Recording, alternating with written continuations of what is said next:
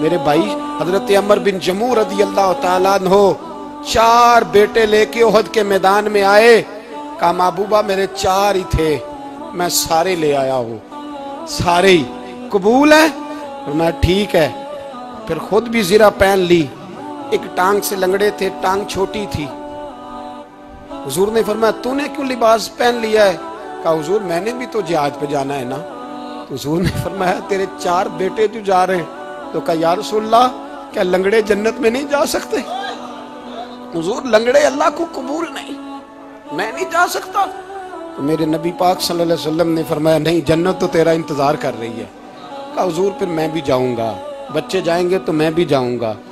एक बीबी ओहद के दिन तीन साल का बच्चा लेके घर से निकली। बीबियों को कहती है, मेरा खामद भी बदर में शहीद हुआ, भाई भी और बाप भी। आज हजूर ने फिर बुलाया है। दिल करता था, कोई जवान बेटा होता तो मैं पेश करती। पर अब मेरे पास ये तीन साल का ही है। बच्चा लिया मदीने में, मस्जिद नबी में। हज़रत बिलाल से कहने लगी, दो मिनट हजूर का दीदार चाहिए।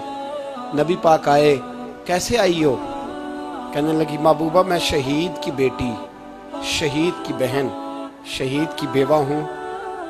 मेरे पास अब जवान तो कोई नहीं, ये तीन साल का ही है। हजूर ने मुस्कुरा के फरमाया, ये करेगा क्या?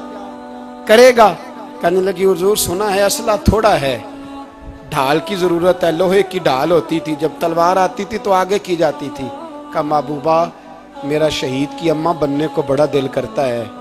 ये मेरा तीन साल का ले जाओ। जब तीर आपकी तरफ़ आया तो मेरा बेटा आगे कर देना। ढाल का काम तो देगा ना? हँसते हुए महबूब की आँखों में आँसू आए। बच्चे को पकड़ के सीने से लगाया, माथा चूमा, फरमाया, जा, तेरे साथ वादा है। कयामत के दिन तुझे शहीद की अम्मा कह के ही पुकारा जाएगा। वादा है तेरे साथ, तुझे शहीद की, मेरे भाई। मरने को दिल ही नहीं मुसलमान। मेरे नबी पाक सल्लल्लाहु अलैहि वसल्लम ने फरमाया, जिसके दिल में कभी शहादत की आरज़ू पैदा नहीं हुई, उसके दिल में धड़कने वाला, सीने में धड़कने वाला दिल मोमिन का है ही नहीं। वो तो मुनाफिक है, जो कभी दीन के रस्ते में शहीद होने को, मेरे भाइयों दीन को बड़ी ज़रूरत है, बड़ी ज़रूरत है। बड़ी ए खासा खासा ने रसुल, वक्त दुआ है, उम्मत पे तेरी आके अजब वक्त पड़ा है। वो दीन जो बड़ी शान से निकला था वतन से परदेश में वो आज गरीबुल गुरबा है। फरियाद है ए कश्ती ये उम्मत के निगे बाँ। बेड़ा ये तबाही के करीब आन लगा है, और एक शायर कलम तोड़ गया।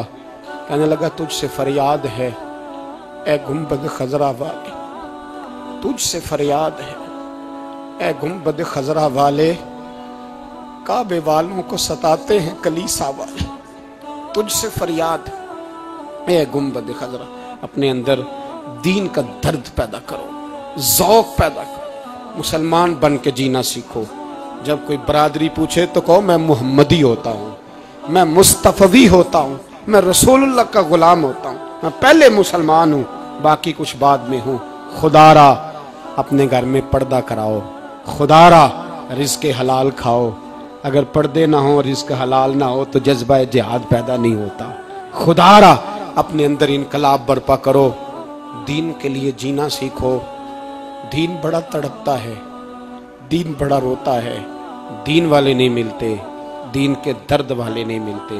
अपील है आपसे, आज रात दो नफल पढ़ के और कुछ ना हो सके तो मुसलमानों के लिए दुआ ज़रूर कर देना।